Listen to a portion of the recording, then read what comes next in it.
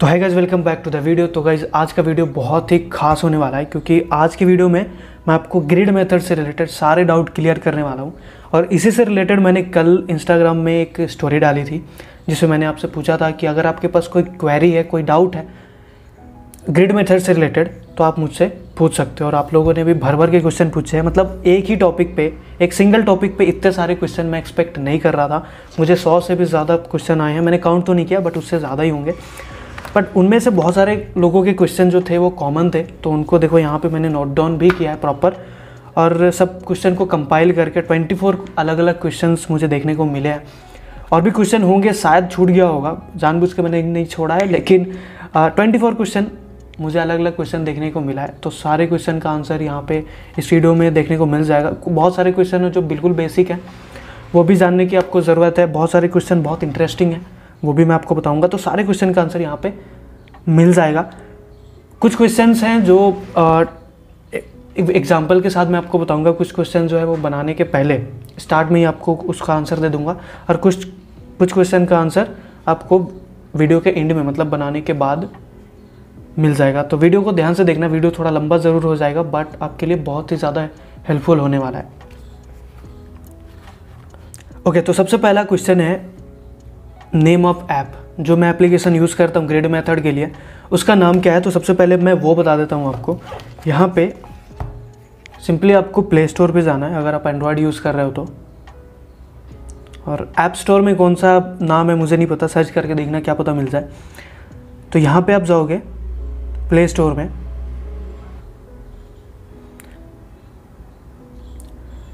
Play store में जाने के बाद आपको यहाँ पे लिखना है यहाँ पे ग्रिड फॉर आर्टिस्ट ये आप लिखोगे, आपको एक एप्लीकेशन देखने को मिल जाएगा, ये वाला। अगर आपको नहीं दिख रहा हो तो मैं अच्छे से दिखा देता हूँ। ये वाला। ठीक है, इस पर हम क्लिक करेंगे।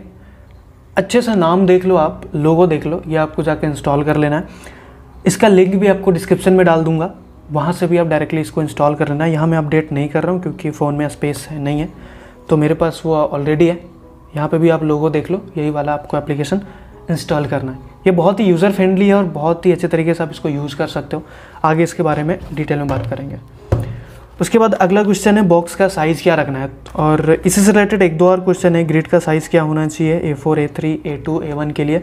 तो यार देखो आ, मैं आ, अगर मैं पर्सनली बताऊँ तो मैं ट्वेंटी एम एम यूज़ करता हूँ। टू सेंटीमीटर या फिर ट्वेंटी एम एम एक बॉक्स का साइज़ बॉक्स का साइज़ जो हम इतने सारे ग्रिड बनाते हैं इस तरीके से। ठीक है तो ये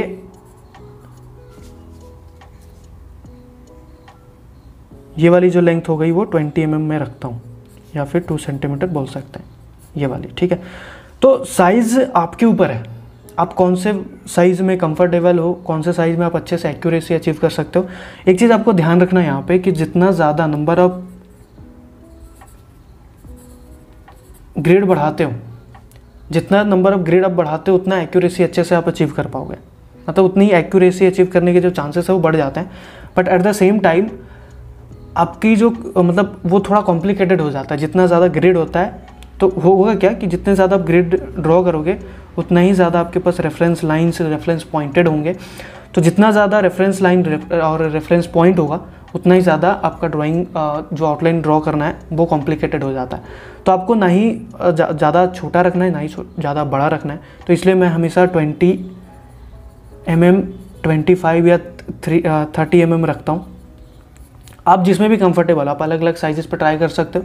जो, जिसमें आपको कंफर्टेबल लगता है, आप वो चूज़ कर सकते हो। कोई ऐसा फिक्स नहीं है कि मैं ट्वेंटी एम यूज़ कर रहा हूँ तो आपको भी ये यूज़ करना है। ऐसा कुछ नहीं है। आप कोई भी साइज़ यूज़ कर सकते हो। और अलग अलग साइजेस के लिए भी सेम यूज़ कर सकते हो। सपोज़ कि ए फोर के लिए आपने ट्वेंटी एम mm यूज़ किया तो मैं अगर ए वन भी बना रहा हूँ तो वो भी मैं इतना ही रखता हूँ। या फिर थोड़ा बड़े साइज़ में गए तो थोड़ा ग्रिड का साइज़ बढ़ा सकते हैं। तो कंप्लीटली आपके ऊपर है आप किसमें कंफर्टेबल हो। ओके okay, उसके बाद किसी ने पूछा है कि should we use diagonal grid तो ये भी आपके ऊपर है। आ, मैं पर्सनली अगर मैं बोलूँ तो मैं वो डायगोनल ग्रेड यूज़ नहीं करता हूँ। मुझे वो थोड़ा सा कॉम्प्लिकेटेड लगता है और मेरा काम वैसे स्क्वायर में भी हो जाता है और ज़्यादा कहीं दिक्कत होती नहीं है और जहाँ पे मुझे ज़्यादा रेफरेंस पॉइंट की ज़रूरत पड़ती है तो मैंने आप ऑलरेडी बता रखा है कि मैं डिवाइडर यूज़ करता हूँ और भी अच्छे से एक्यूरेसी अचीव करने के लिए। अगर ये डिवाइडर और ये सारी चीज़ें यूज़ नहीं करना चाहते हो तो आप डायगोनल ग्रिड यूज़ कर सकते हो। डायगोनल ग्रिड में एक्चुअली क्या होता है? देखो एक बॉक्स होता है सिंपली और बीच में इस तरीके से डायगोनल होता है। इसमें एडवांटेज क्या मिलता है कि एक जब भी, बीच में हमने ये लाइन ड्रॉ कर दिया ना तो हमारे पास एक और रेफरेंस लाइन है। और मैंने जैसा कि बताया कि जितना ज़्यादा रेफरेंस लाइन आपके पास होगा, यहाँ पे एक, दो, तीन, चार, इतने छोटे से एरिया में पाँच रेफरेंस लाइन है। अगर आप रेफरेंस पॉइंट निकालोगे तो बहुत सारे रेफरेंस पॉइंट निकल जाएँगे। तो जितना ज़्यादा रेफरेंस लाइन रेफरेंस पॉइंट होगा, उतना ही ज़्यादा एक्यूरेट बनेगा आपका आउटलाइन उतना ही आसानी से। बट वही है कि ज़्यादा छोटे साइज़ में आपने इतने सारे ड्रॉ कर दिए तो फिर आप इसी में उलझ जाओगे। आउटलाइन पे ज़्यादा ध्यान नहीं जाएगा। तो डायगोनल मैं यूज़ नहीं करता हूँ बहुत सारे लोग यूज़ करते हैं उनका पर्सनल चॉइस है और ये मेरा पर्सनल चॉइस है। तो आप डायगोनल यूज़ करना चाहते हो वो भी यूज़ कर सकते हो। किसी ने पूछा है कि will we use flexibility of hand कि ग्रिड मेथड यूज़ करने से मेरी फ्लेक्सिबिलिटी कम हो जाएगी क्या? तो ऐसा कुछ भी नहीं है। ऐसा नहीं है कि हम आ, मतलब इसी पे फोकस कर रहे हैं। ये भी एक टाइप है और अलग अलग इसके बाद आपको शेडिंग भी करना है तो वहाँ पे फ्लेक्सिबिलिटी में कुछ खास डिफरेंस नहीं पड़ने वाला यार। निश्चिंत होकर ये मेथड यूज़ करो। ठीक है? कोई फ्लेक्सिबिलिटी पे डिफरेंस आपको नहीं देखने को मिलने वाला। ओके okay, इसके बाद एक बहुत ही इंटरेस्टिंग सा क्वेश्चन है जो कि बहुत बार मुझसे पूछा गया है कि बहुत लोग बहुत सारे आर्टिस्ट शायद उनको बताते हैं कि ग्रिड मेथड जो है इसको कंसिडर करते हैं एज अ चीटिंग और ये बहुत लोग ये भी बोलते हैं कि अगर आप ग्रिड मेथड यूज़ करोगे तो आपकी ड्राइंग इम्प्रूव नहीं होगी। तो ऐसा कुछ भी नहीं है भाई। ऐसा कुछ भी नहीं है और एक एग्जांपल के थ्रू आपको मैं समझाने की कोशिश करता हूँ। सपोज़ आपको इस जैसे साइंस है साइंस में हमें चार, तीन सब्जेक्ट होते हैं फिजिक्स केमिस्ट्री मैथ ठीक है? अब यहाँ पे अगर मैं बोलूँ, अब आपको पता है कि तीनों पार्ट हैं अलग अलग तीनों में अलग अलग टाइप के चीज़ें पढ़, पढ़नी होती हैं अलग अलग अलग अलग तरीके से दिमाग चलाना होता है, ठीक है? अगर मैं ये बोलूँ कि बायोलॉजी एक चीटिंग है बायोलॉजी पढ़ोगे तो आपका दिमाग ये हो जाएगा, वो हो जाएगा। समझ रहे हो? एक बस दिमाग में लोगों के बिठाया जा रहा है। बस सच्चाई ये है कि तीनों तीनों सब्जेक्ट में अलग अलग तरीके से हमको, हमें दिमाग लगाना होता है, हमें अलग अलग तरीके से वहाँ चीज़ें, अगर क्वेश्चन है तो अलग अलग तरीके से वो क्वेश्चन सॉल्व करना होता है। ठीक है? तो ऐसा कुछ नहीं है कि वो चीटिंग है या फिर ये है। जैसे हमारे पास आउटलाइन ड्रॉ करने के लिए बहुत सारे मेथड्स हैं। चाहे वो फ्री हैंड ले लो मेज़रमेंट मेथड ले लो लुमिसेड मेथड ले लो या फिर ग्रिड मेथड ले लो तो ये सारे पार्ट्स हैं। उन्हीं चारों पार्ट्स में से एक पार्ट है ग्रिड मेथड जिसको हमें जानना चाहिए। अब अगर आप केवल ग्रिड मेथड को ही बनाते हो और किसी और मेथड पे ध्यान नहीं देते, अपने आप को एक्सप्लोर नहीं करते हो आगे जाके तो आपको दिक्कत हो सकती है। केवल अगर आप एक ही चीज़ पे फोकस करते हो तो इसके आगे किसी का सवाल यही है कि अगर हम केवल यहाँ पे कि अगर हम केवल ग्रिड मेथड को यूज़ करते हैं तो क्या हमारे फ्यूचर और या फिर हमारे ड्राइंग को अफेक्ट होता है? तो बिल्कुल होता है। केवल आपको ग्रिड मेथड पे ध्यान नहीं देना। अगर ये वीडियो ग्रिड मेथड पे तो ऐसा नहीं बोल रहा हूँ कि आप फ्री हैंड मत बनाओ। फ्री हैंड की प्रैक्टिस मत करो। मेज़रमेंट मेथड पे ध्यान मत दो। सब पे आपको करना है। सब अलग अलग मेथड्स को आप देखो, जो आपको कंफर्टेबल लगता है, उस पर आप ज़्यादा टाइम स्पेंड करो। बाकी को थोड़ा थोड़ा टाइम दे प्रैक्टिस करते रहो। ठीक है, अगर मैं ग्रेड मेथड से कुछ चीज़ें ड्रॉ कर रहा हूँ तो ऐसा नहीं है कि मुझे फ्री हैंड नहीं ड्रॉ करना आता, या फिर मैं मेज़रमेंट मेथड से ड्रॉ नहीं कर पाऊँगा। होता क्या है कि किसी एक मेथड पे आप ज़्यादा डीप जाते हो तो आपके अंदर एक कॉन्फिडेंस आता है, और वही कॉन्फिडेंस को आप उधर अप्लाई कर सकते हो अपने आप को एक्सप्लोर करने के लिए अलग अलग मेथड्स को सीखने के लिए। और ये एक आसान तरीका, आप यहाँ से इंटर करते हो और इसमें डीप जाते हो, एक अच्छा सा एक्यूरेसी अचीव कर लेते हो शेडिंग पे काम करके एक अच्छा ड्राइंग बना लेते हो ना तो आपके अंदर एक कॉन्फिडेंस बिल्डअप होता है। उसके बाद धीरे धीरे अलग अलग मेथड्स को आप सीखना स्टार्ट करो। ओके okay, तो अगला किसी ने पूछा है इस, इसी तरीके के दो क्वेश्चन हैं कि ग्रेड मेथड यूज़ करने के बाद भी आउटलाइन परफेक्ट नहीं बन रहा है। तो उसका एक ही आंसर है कि आप प्रैक्टिस करो क्योंकि अब इससे ज़्यादा क्या ही कर सकते हो? ग्रेड मेथड से आपका काम और भी बहुत ज़्यादा आसान हो जाता है।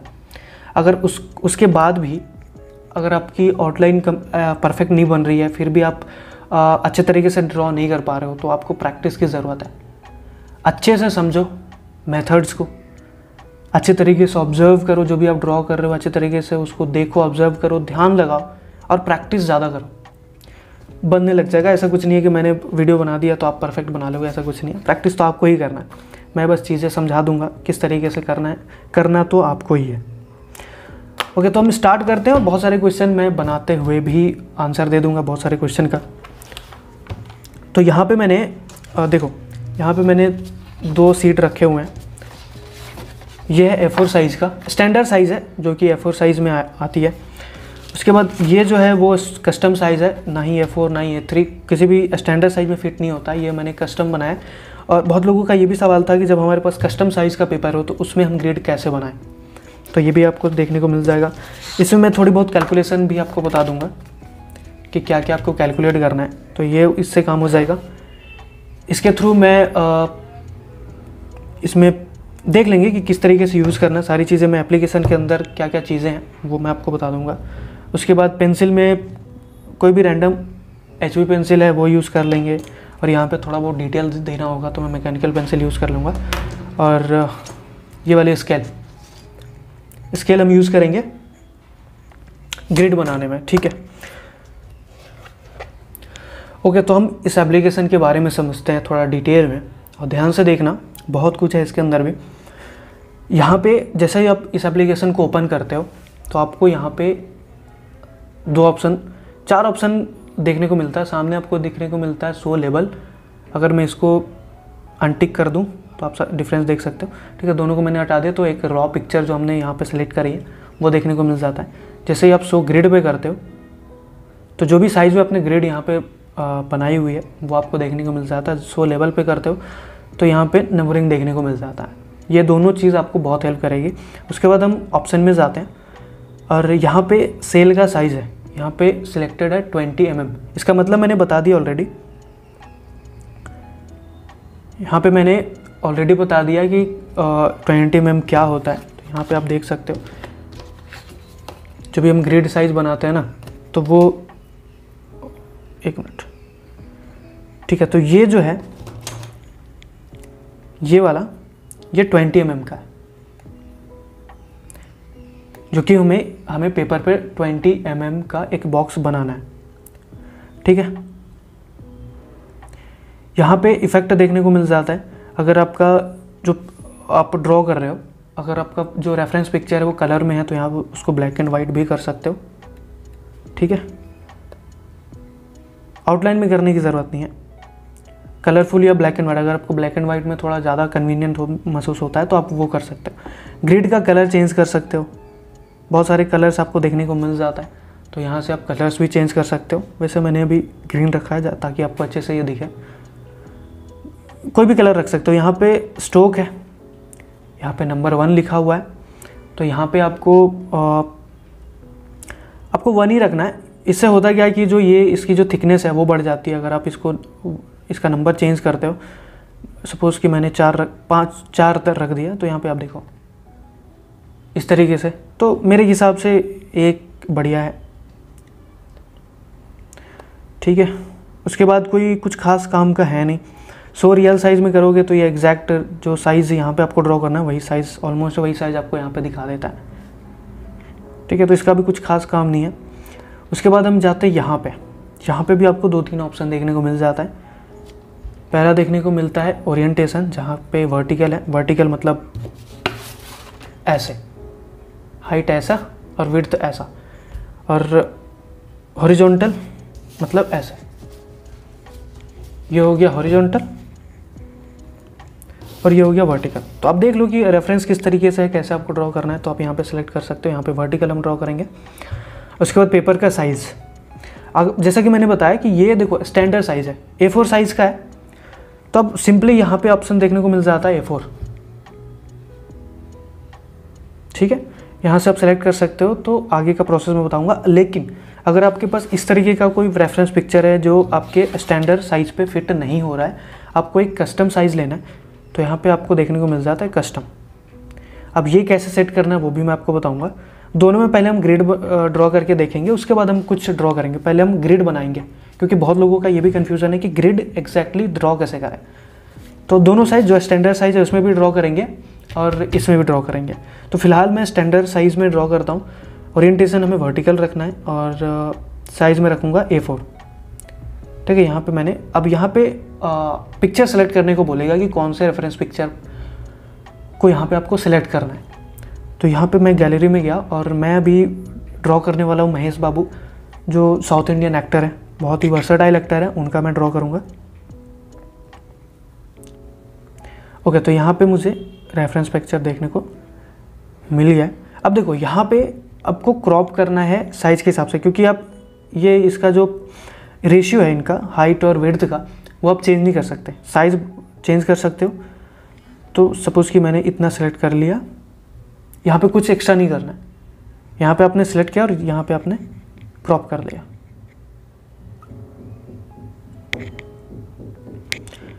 चूँकि मैंने वहाँ पे ब्लैक एंड वाइट रख रखा था तो ऑटोमेटिक ये ब्लैक एंड वाइट में कन्वर्ट हो गया। अब हम इसको ड्रॉ कर सकते हैं ए फोर साइज़ पर अगर अगर हम यहाँ पे जो स्टैंडर्ड साइज़ वाला हमने देख लिया, अगर यहाँ पे ये वाला होता, जब आगे आपके पास स्टैंडर्ड साइज़ है तो उसको मेज़र करने की ज़रूरत नहीं है। यहाँ पे ऑलरेडी आपको उसी के हिसाब से मिल जाता है ग्रेड वगैरह और पूरा साइज़ उसी के हिसाब से मिल जाता है। लेकिन अगर आपके पास कस्टम साइज़ है, जो ये कस्ट जो स्टैंडर्ड साइज़ उस पर फिट नहीं हो रहा है तो आपको क्या करना है? सबसे पहले आपको इसको मेज़र कर लेना है। ठीक है? तो यहाँ पे सपोज़ मैं इसको विर्थ मानता हूँ, ये है twenty one centimetre twenty one centimetre into इसका दूसरे साइड भी मेज़र करना पड़ेगा हमें। यहाँ पे यह है twenty two centimetre twenty two centimetre मतलब twenty one into twenty two इसका डायमेंशन है। अब यहाँ पे जैसे ही आप जाओगे ना साइज़ पे कस्टम पे तो आपको यहाँ पे जो इसका यूनिट है वो एम mm में देखने को मिलता है। सेंटीमीटर ना, ना हो के मिलीमीटर तो आपको पता है कि सेंटीमीटर को हम मिलीमीटर में कैसे कन्वर्ट करते हैं? 10 से मल्टीप्लाई कर देंगे तो हो जाएगा मतलब 210 सौ दस इंटू दो इतना साइज़ हमें रखना है। तो विर्थ विर्थ हम रख देंगे जिस तरीके से हमें रखना है। विर्थ मतलब ये वाला और हाइट मतलब ये वाला। तो आपको अगर ऐसे रखना है मतलब 22 को आपको ऐसे रखना है, ये 22 है और ये 21 है।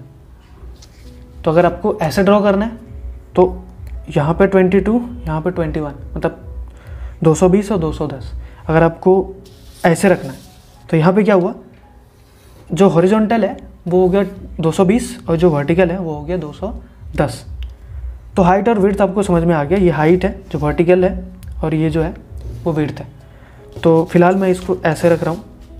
हाइट को ज़्यादा ज़्यादा जो साइज़ है वो हाइट रख रहा हूँ। विर्थ वाला छोटा है। तो विर्थ में मैं लिख देता हूँ 210 और यहाँ पे मैं लिख देता हूँ 220 ओके यहाँ से हम ओपन करेंगे। फिर से हमें रेफरेंस पिक्चर सेलेक्ट करने को बोल रहा है। यहाँ पे आ, फिर से मैं वही इमेज सेलेक्ट कर रहा हूँ। और यहाँ पे देखो ऑलमोस्ट स्क्वायर टाइप यहाँ पे देखने को मिल जाता है। ये तो थोड़ा लंबा फ़ोटो है तो इस पर सेट नहीं करेगा ज़्यादा लेकिन फिर भी मैं यहाँ पे जिस तरीके से आपको फ़ोटो चाहिए उस तरीके से यहाँ पे सेलेक्ट हो गया और यहाँ पे हम क्रॉप कर देंगे। ठीक है तो इमेज सेलेक्ट करना आ गया। कैसे आपको सेलेक्ट करना है वो आपको समझ में आ गया। अब हम इसको ड्रॉ करेंगे पे, पेपर के ऊपर। सेल का साइज़ हमें पता है ट्वेंटी एम mm है। तो पहले मैं इस पर ग्रिड बनाता हूँ, उसके बाद इस पर बनाएँगे। तो यहाँ पे आपको सिंपली क्या करना है, एक कॉर्नर पकड़ना है, जिसको इधर ही रखना है आपको, ठीक है? उसके बाद स्केल से हर दो सेंटीमीटर पे मार्क कर देना है आपको। इसे मैंने यहाँ पे दो सेंटीमीटर पे मार्क किया, यहाँ पे हर दो सेंटीमीटर मार्क करने का मतलब यही है कि ये जो इतना एरिया है वो है ट्वेंटी एम mm. ये भी ट्वेंटी एम mm, तो ट्वेंटी ट्वेंटी ऐसे करके आपका बन जाएगा।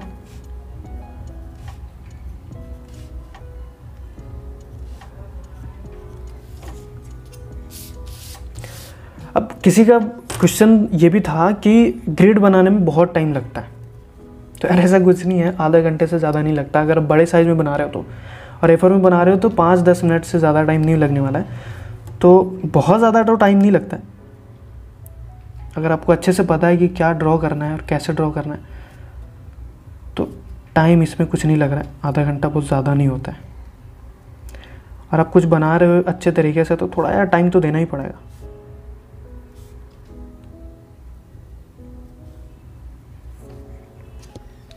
ठीक है तो हमने इस तरीके से कर दिया और यहाँ पे अब देखो, यहाँ पे क्या कन्फ्यूज़न होता है, बहुत लोग यहाँ पे क्या कन्फ्यूज़ हो जाते हैं। अब देखो।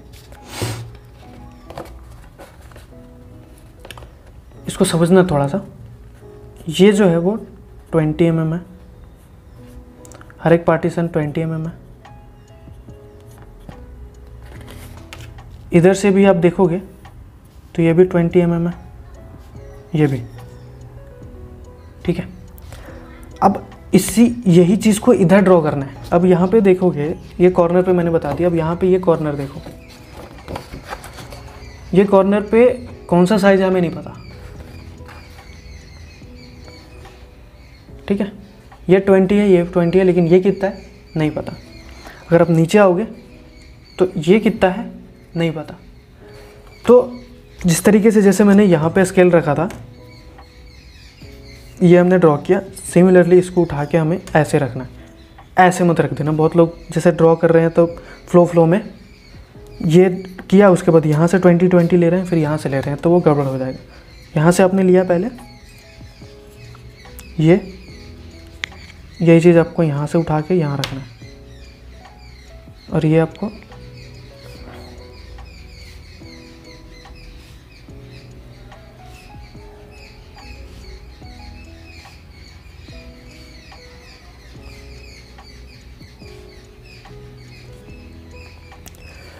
ओके तो ये आ, हमने हाइट पे मार्क कर दिया है।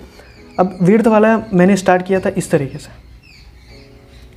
यहाँ पे स्केल रखा था और ट्वेंटी ट्वेंटी ट्वेंटी ट्वेंटी करके मार्क करता गया। तो इसी तरीके से हमें ये स्केल लेके यहाँ लेकर आना है। ऐसे।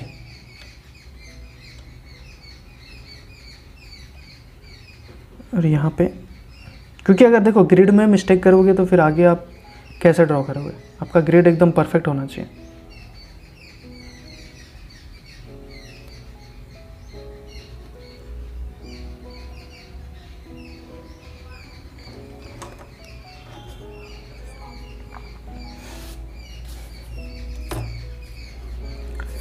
ओके okay, तो किसी ने ये भी पूछा है कि फ्री हैंड सही है या ग्रिड मेथड दोनों में से कौन सा सही है? दोनों सही है। ठीक है? दोनों अलग अलग मेथड्स हैं। दोनों को आपको सीखना चाहिए। देखो कि पहले कौन सा सीखना है, किससे आपको अच्छी कॉन्फिडेंस बिल्डअप होती है। मेन आपको कॉन्फिडेंस है क्योंकि ये होता क्या है कि स्टार्टिंग में बिगनर जो होता है, बहुत ही ज़्यादा उनके अंदर वो एक पता नहीं अजीब टाइप का फियर होता है। वो मेरे अंदर भी था, हर किसी के अंदर होता है। तो एक बार वो फियर हो वो डर निकल जाता है ना तो आप कुछ भी ड्रॉ कर सकते हो। तो एक ऐसा मेथड चूज़ करो पहले आप, जिस पे आप ज़्यादा कंफर्टेबल हो। उसके बाद धीरे धीरे जब आप कॉन्फिडेंस आपको मिलता है एक्सप्लोर करो। अलग अलग मेथड्स हैं अलग अलग टेक्निक है ड्रॉ करने के। सारे टेक्निक सीखो।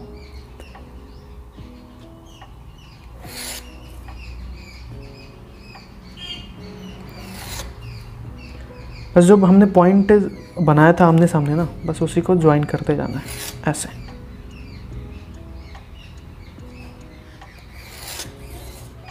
ये हमने ज्वाइन कर दिया, उसके बाद इधर साइड से ज्वाइन करेंगे।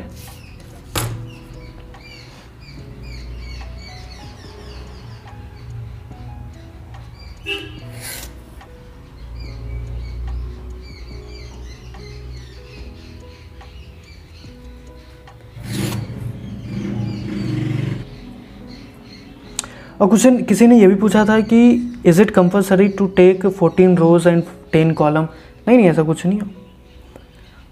आपके साइज़ और जो आप बॉक्स का साइज़ ले रहे हो ना, उसके हिसाब से वो ऑटोमेटिक जितने रोज़ वहाँ पे बना के देगा, उतना ही आपको यहाँ पे ड्रॉ करना है। ऐसा कुछ फिक्स मैंने कभी बोला नहीं कि चौदह बाई दस रो ही आपको ड्रॉ करना है। सपोज़ कि आप ए फोर ड्रॉ कर रहे हो, ठीक है, और आपने ट्वेंटी एम लिया है तो आपको दस चौदह इंटू दस ड्रॉ करने का शायद ऑप्शन आएगा। बट वहीं अगर आप ए फोर साइज़ में ट्वेंटी फाइव एम एम लेके चल रहे हो तो आपके रोज़ एंड कॉलम दोनों कम हो जाएँगे। अगर आप टेन एम एम लेके चल रहे हो तो रोज़ एंड कॉलम दोनों बढ़ जाएँगे। तो कोई फिक्स नहीं है, वो आप, आपके ऊपर है। वो बॉक्स के साइज़ के ऊपर है और पेज के साइज़ के ऊपर दोनों में कौन सा फिट होता है, उतना ही आपको ड्रॉ करना है। तो ईज़िली हमारा, देखो, पाँच मिनट का टाइम भी नहीं लगा होगा और ये ग्रेड हमारा पूरा तैयार हो गया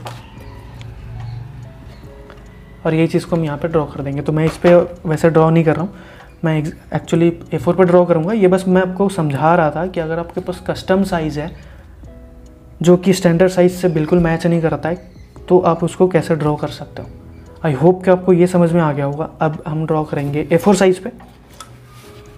ठीक है, और प्रोसीजर बिल्कुल सेम है। सारी चीज़ें यहाँ पे कुछ ज़्यादा कैलकुलेट नहीं करना है। तो यहाँ मैं फिर से जाता हूँ ऑप्शन में। वर्टिकल ए फोर सिलेक्टेड है। उसके बाद यहाँ पे सेलेक्ट करता हूँ।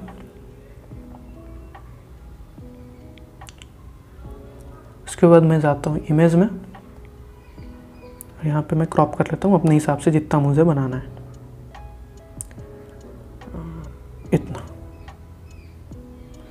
यहाँ से मैंने कर लिया क्रॉप ग्रिड बन के आ गया है। 20 M M into twenty M M हमें रखना है। तो सिंपली हम यहाँ पे वो रख देंगे। और यहाँ पे एक और किसी का क्वेश्चन था कि इसको हम किस तरीके से इरेज करें?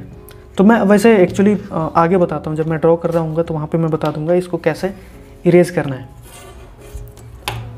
सेटिंग करते टाइम या फिर अगर आप आपका आउटलाइन कंप्लीट हो गया तो वहाँ पे भी आपको कैसे इरेज करना है। तो इसको मैं आ, ऐसे रखता हूँ। ये हाइट है ये विड्थ है ठीक है?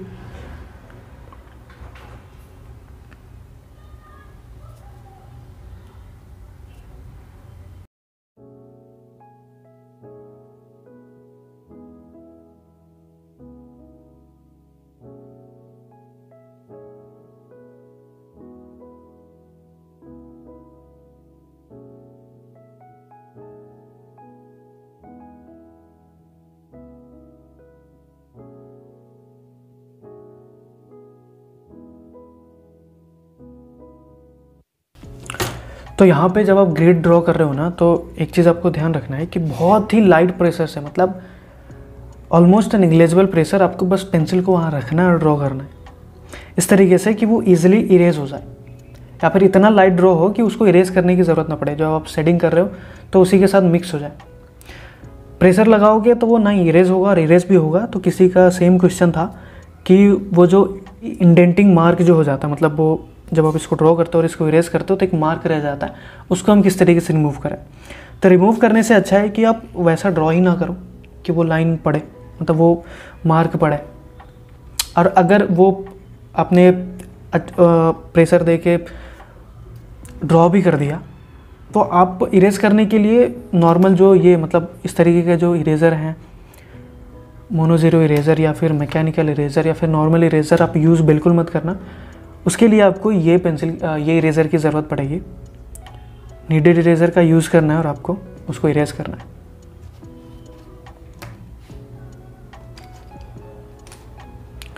और इसके लिए ड्रॉ करने के लिए आप एच पेंसिल या फिर टू अगर आपके पास है तो और भी अच्छा ऑप्शन रहेगा।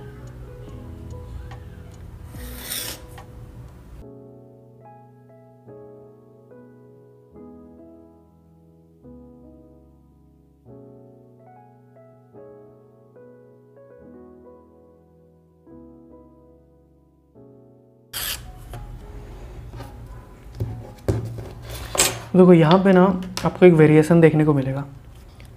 ग्रिड लाइंस में। यहाँ तक देखो, आपको लाइंस देखने को नहीं मिल रहा। आपको यहाँ दिख नहीं रहा होगा। बहुत ही लाइटली ड्रॉ किया है। कैमरे में दिख नहीं रहा है। और यहाँ पे नीचे देखोगे तो कुछ दूर तक हल्का हल्का दिखाई दे रहा है और यहाँ पे आपको क्लियर दिखाई दे रहा है। यहाँ पे मैंने टू टू एच यूज़ किया है। यहाँ से यहाँ तक मैंने एच यूज़ किया है। ये तीन चार लाइन्स में मैंने बहुत हल्का प्रेशर यूज़ किया और ये मैंने यूज़ किया तो हल्का सा प्रेशर दे के तो आपको ये वाला रखना है जो दिखे भी ना। इसमें क्या होगा कि आपको इरेज करने की ज़रूरत नहीं पड़ेगी। पर्सनली मैं कभी इरेज नहीं करता। बहुत कम ऐसा टाइम होता है जब मुझे इरेज करने की ज़रूरत पड़ती है। मैं इतना लाइट ड्रॉ करता हूँ कि वो शेडिंग के साथ मिक्स हो जाता है। अगर आप यहाँ ये वाला भी यूज़ करते हो तो वो भी ठीक है, बहुत ईजिली ये इरेज भी हो जाएगा। बट प्रेशर दे के इरेज प्रेशर दे के ड्रॉ करोगे तो यहाँ पे आपको अगर आप इसको इरेज भी करते हो ना तो वही एक मार्क रह जाता है, जो कि आपको बिल्कुल अच्छा देखने को नहीं मिलेगा। तो ध्यान से आप ड्रॉ करोगे तो कोई प्रॉब्लम नहीं है। प्रेशर वगैरह पे कंट्रोल रखो हमेशा।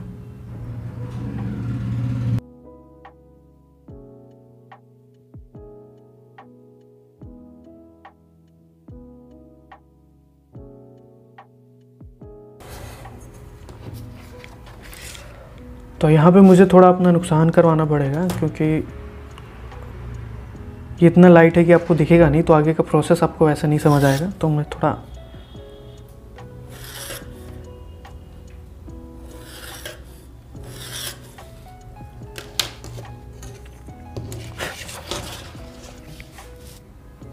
ओके तो हमारा ग्रेड बन चुका है।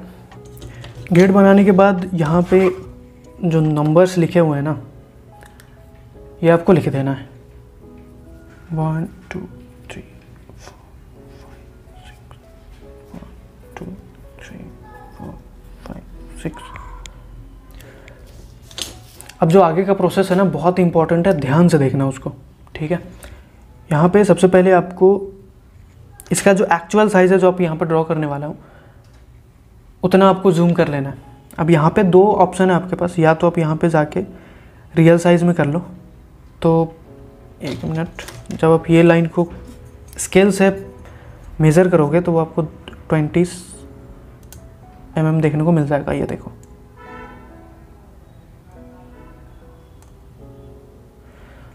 बट एग्जैक्ट ट्वेंटी नहीं है तो एग्जैक्ट एकदम एक्यूरेट रिज़ल्ट के लिए मैं यहाँ पे डिवाइडर यूज़ करूँगा। और यहाँ पे सबसे पहले दो लाइनों के बीच में मैं इसको रख लूँगा। ये। तो ये ये भी इसका डिस्टेंस हो गया ट्वेंटी एम mm और इसको मैं उतना ही जूम करने की कोशिश करूँगा। यहाँ पे देखो हल्का सा छोटा है। इसको बड़े ही ध्यान से सॉरी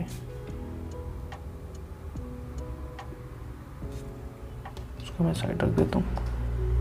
ओके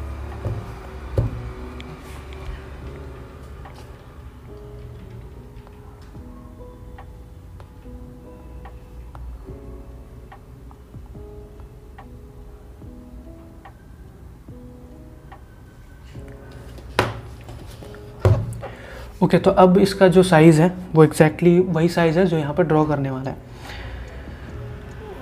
तो आगे का प्रोसेस मैं बताता हूँ। अब आपको क्या करना है, एक बॉक्स आपको पकड़ना है, जहाँ से आप स्टार्ट करोगे। सपोज़ मैं यहाँ से स्टार्ट करता हूँ। ठीक है? और यहाँ पे जो मैं आपको बताने वाला हूँ, बहुत ही ध्यान से सुनना। ये सुनने के बाद, इसको अच्छे से समझने के बाद, आपको कोई भी दिक्कत नहीं होने वाली। आपका जो शिकायत है ना कि ग्रिड मेथड यूज़ करने के बाद भी आप एक्यूरेट आउटलाइन नहीं ड्रॉ कर पा रहे हो तो वो आपकी शिकायत दूर हो जाएगी। ध्यान से देखना बस। नंबर्स हम चेक कर लेंगे। ऊपर से थ्री और नीचे से टू मतलब ऊपर से थ्री नीचे से टू ये वाला बॉक्स ठीक है? थोड़ा पास से मैं आपको दिखाता हूँ। अब यहाँ पे मैं जो बता रहा हूँ, वो समझने की कोशिश करो। अब यहाँ पे ये बॉक्स पे हमें ये ड्रॉ करना है। ये बॉक्स पे ये ठीक है? अब यहाँ पे या तो आप आ, इसके जो सेंटर लाइन है ना उसको मार्क कर लो या फिर इमेजिन कर लो अपने माइंड में। चलो वो और भी अच्छे तरीके से बताने के लिए मैं यहाँ पे मार्क कर लेता हूँ। ऑलमोस्ट सेंटर को मैंने चार रेफरेंस पॉइंट मैंने निकाल लिया। अब इसको यहाँ पे देखना है कि ये लाइन कितनी दूर से क्रॉस कर रहा। और ये, क्योंकि ये बॉक्स में देखो हेयर का जो लाइन है, वो यहाँ पे और यहाँ पे, बस दो ही जगह पे क्रॉस कर रहा है। तो हमें दो ही लाइन ड्रॉ करनी है। तो या तो एकदम एक्यूरेट ड्रॉ करने के लिए आप डिवाइडर का यूज़ कर सकते हो। यहाँ पे आप इधर से देख लो कितने दूर पे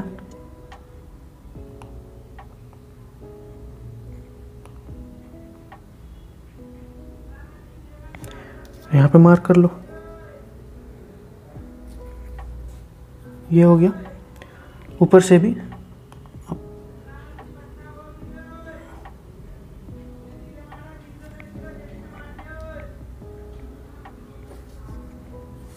ठीक है, दो लाइन हमें मिल गया। अब इसको हमें ज्वाइन करना है, जैसा ये है। ये हल्का सा यहाँ पे आपको कर्व दिख रहा है, उसी तरीके से।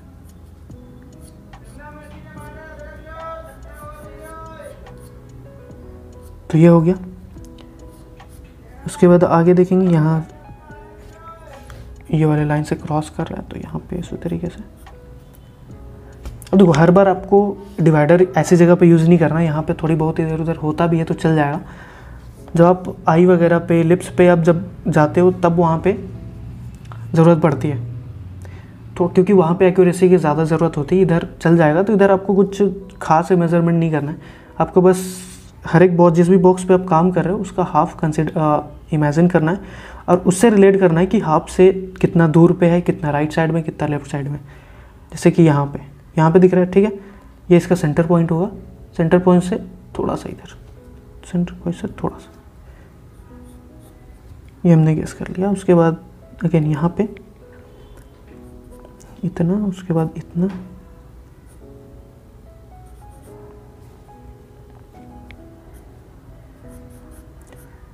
थोड़ा सा आपको ध्यान लगाने की ज़रूरत है, वैसे कुछ है ही नहीं। जब इतना दूर तक आ जाते हो, थोड़ा सा आप ध्यान लगा लेते हो, अच्छे समझ जाते हो तो आपको ज़्यादा मुश्किल नहीं होता है इसको ड्रॉ करने में। बस जब भी किसी भी बॉक्स में, जैसे मैं अभी इस बॉक्स में काम कर रहा हूँ तो आपको इधर उधर ध्यान नहीं देना। पूरा ये बॉक्स को अच्छे तरीके से ड्रॉ कर लेना है, जैसा यहाँ पे। इधर उधर ध्यान दोगे तो फिर एक्यूरेसी मिलेगी नहीं।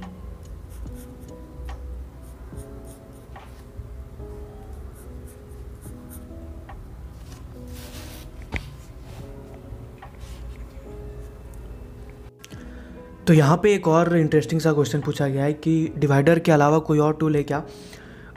मेज़रमेंट लेने के लिए, क्योंकि डिवाइडर से स्क्रैच मार्क्स आ रहे हैं स्क्रीन पे। तो स्क्रैच मार्क्स यहाँ पे देखो, कोई फोर्स वगैरह नहीं अप्लाई करना है स्क्रीन पे। कि स्क्रैच मार्क्स आए। मैं भी बहुत टाइम से यूज़ कर रहा हूँ और कोई स्क्रैच मार्क्स नहीं आ रहा है। बट स्टिल अगर आप कोई और टूल यूज़ करना चाहते हो तो आप स्केल यूज़ कर सकते हो या फिर कुछ और ऐसा चीज़ जिससे आप रेफरेंस पॉइंट हमारा मेन मोटिव जो है, वो रेफरेंस पॉइंट निकालना है।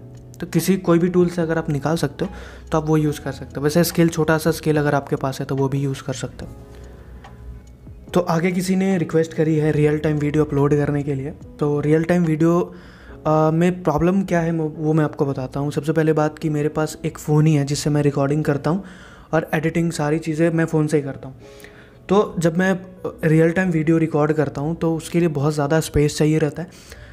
अगर वो रिकॉर्ड कर भी लूँ तो एडिटिंग में इतना ज़्यादा लोड नहीं ले पाता है फ़ोन तो बहुत प्रॉब्लम होता है और उसको एडिट वगैरह करने के बाद मैं अगर एक्सपोर्ट भी कर लूँ तो फ़ाइल बहुत बड़ा हो जाता है और मैं फ़ोन के डेटा से ही अपलोड करता हूँ तो इतना सारा डेटा भी नहीं होता है। और होता भी है तो स्पीड लिमिटेड स्पीड होता है तो बहुत ज़्यादा मुश्किल हो जाता है। मैंने एक दो वीडियो डाले हैं रियल टाइम वो जाके आप देख सकते हो। तो आ, मैं ट्राई कर रहा हूँ और हमेशा करता भी हूँ जब मुझे आ, मौका मिलता है तो मैं रियल टाइम वीडियो अपलोड करने का।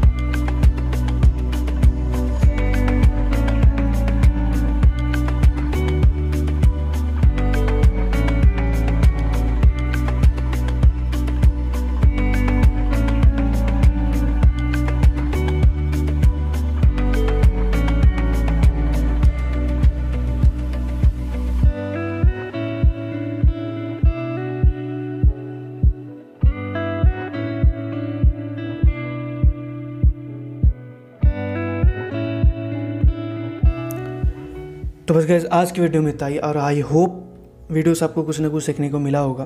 तो मिलते हैं अगले वीडियो में, तब तक के लिए बाय बाय